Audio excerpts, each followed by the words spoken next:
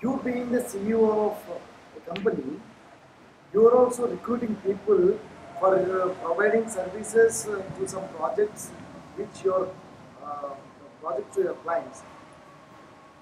What do you expect from the employees? What kind of knowledge you expect? What kind of expertise you expect on the automation uh, on the employees you recruit?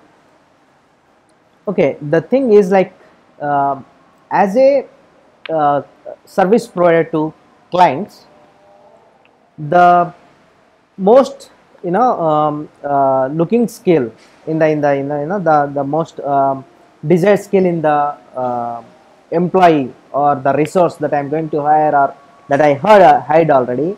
So should comply with the client's rules first.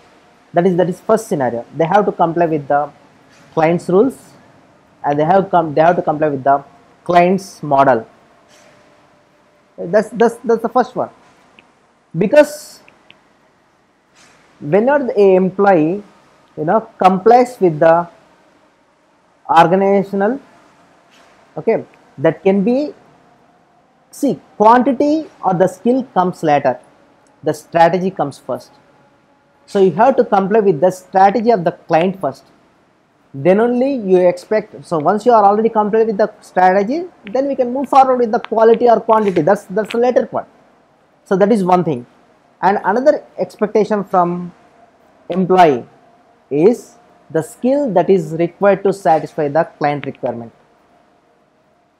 So how much skills the employee got to satisfy the client's requirement of that particular project I might be uh, a legend in some other technology, but I am not satisfying in the automation industry that particular uh, requirement. So I am nothing. I might be a legend in other other technology in other area, but here I am nothing. So the same thing, same same thing applies for anyone. Uh, It's not it's not only for the employee as as employee. It can be me also as a CEO. So I am good in RPA. So I am good in giving the services in RPA, but uh, I took the help of some other company or maybe I'm working as a B2B with some other company and I went to the client's area. There they might be into the AI or video analytics, some, some more advanced technology where I they are expecting me to do something but I did nothing.